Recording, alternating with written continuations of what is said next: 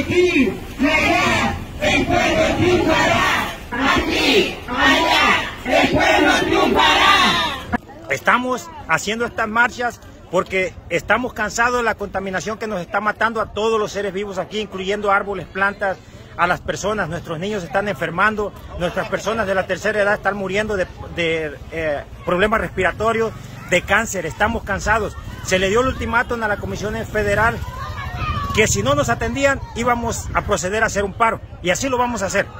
Así lo vamos a hacer próximamente. Porque la siguiente manifestación ya no va a ser pacífica, estamos convocando a un bloqueo ante la respuesta negativa. ¡No al combustorio! ¡No al